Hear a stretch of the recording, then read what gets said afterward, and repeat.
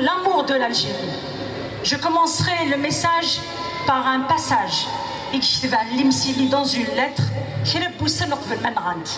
c'est comme s'il savait Israël va mourir sous les balles d'Algériens lui qui a combattu les Français il a écrit je meurs pour avoir vu mourir l'Algérie au lendemain même de sa naissance et pour avoir vu bâillonner l'un des peuples de la terre qui a payé le plus lourd tribut pour affirmer son droit à l'existence.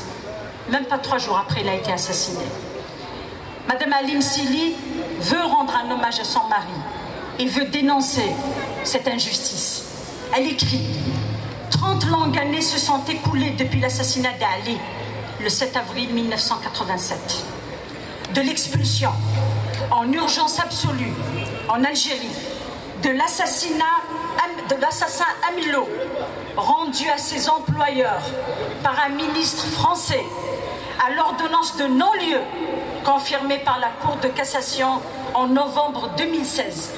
La raison d'État n'a cessé d'imposer sa loi et l'État français a empêché la justice de s'accomplir.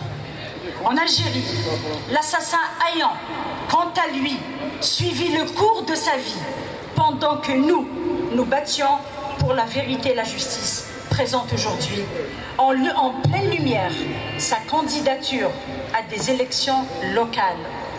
Belle carrière pour un tueur. Très belle carrière pour un tueur. Mais quel déshonneur, quel déshonneur pour la France et pour l'Algérie, notre pays. Malgré notre sidération devant une telle réhabilitation, nous ne devons être accablés. Nous devons sans cesse revenir aux valeurs fondamentales qui étaient celles de feu Hussein Ahmed et d'Alim Sidi. Deux hommes, deux hommes qui représentaient ce qu'il y a de plus noble dans la politique et un véritable espoir pour nous tous. Où que nous soyons, en France ou en Algérie, nous leur devons de ne jamais trahir le sens et la finalité de leur combat. Al-Msili, vive l'Algérie, vive le, FFS, gloire à nos martyrs, nous survivrons merci.